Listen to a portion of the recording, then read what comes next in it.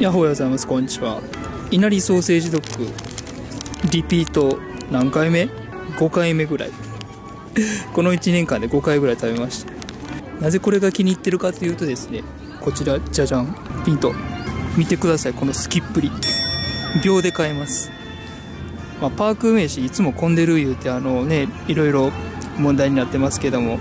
いなりソーセージドッグなら待ち時間ゼロで買えるという素晴らしい、まあ、裏を返せばあの人気がないっていうね やつなんですけどもこれ完全にもうこんなこんな観光鳥に泣いてる状態じゃないですか、まあ、今日比較的パーク空いてる方なんですよね。反対側のアドベン側のイベントブースも結構閑散としてたりあとスイートハートカフェも今ちらっと見たんですけど行列なかったりして空いてるんですけどまあ混んでてもあのいなりソーセージドッグこんな感じなんですよ。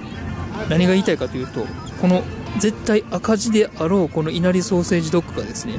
35周年が終わったととともに消えるであろうと思っていたいなりソーセージドッグがじゃじゃん。なんといなりチキンドッグになって生まれ変わるという。つまり稲荷シリーズ続投っていうやつですよこれ。いやいやいや。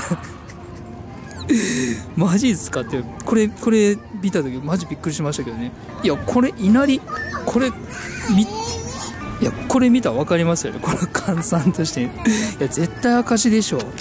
にもかかわらずまた続投する。このしかも今回ねあの前回がソーセージだからいわゆるポークを挟んでるやつじゃないですか。今度チキンですよ。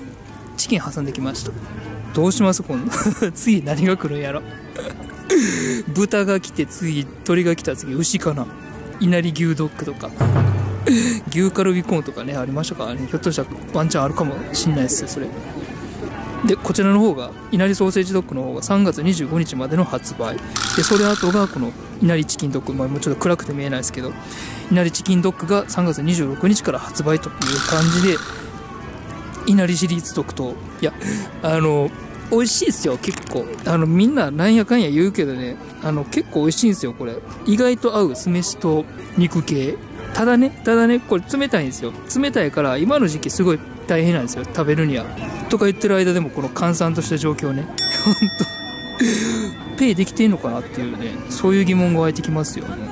僕が見てるタイミングだけかもしれないですけどあのここに行列ができてないとほぼ見たことなくて中のキャストさんもあのほぼだべってるんですよね。それ言ったらあかんか。っていうぐらい閑散としてんのに続投すると。しかも次はチキン。もうしつこいか。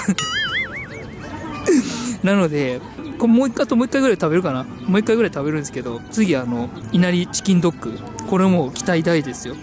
っていう感じで皆さんもぜひとも食べてみてください。食べてみてくださいじゃない。みんな大体食べてるか。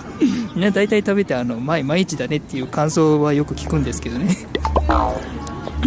まあいや美味しいよ結構。美味しいけどね。じゃあそんな感じで稲荷推進派のレポートでした。バイなら。